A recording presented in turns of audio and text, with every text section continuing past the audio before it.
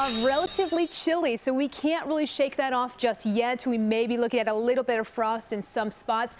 In fact, we do have a frost advisory that's going to be with us from now until 8 o'clock this morning. Otherwise, bright and cool in the short term. And then this weekend, that's when we're calling for the milder temperatures. It's been just over a week since we've seen temperatures in the 60s and 70s, and we're certainly going to be feeling that full force late week into this weekend. We have a little bit of cloud coverage out there, mainly for our southern tier counties, but it is quiet and it is dry. Temperature is starting off in the high 30s, low 40s. It's currently 39 out in Elmhurst, LaGrange, also 39.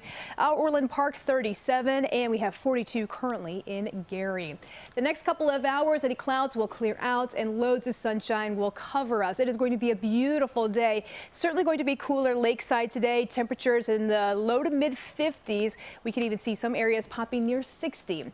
Overnight tonight, temperatures fall back again. Now, I wouldn't be surprised if we saw another uh, region where we're looking at a little bit of frost, but we should only look at that threat for a short period of time as warmer temperatures begin to build in.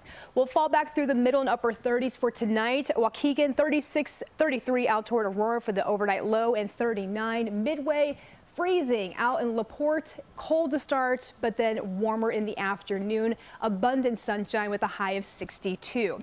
As you look ahead for the weekend, it gets even warmer out there. We are going to be looking at a dry weather pattern till at least Saturday, but we'll see temperatures taking off to the upper 60s near 70 degrees. We'll call it 69 both Saturday and Sunday.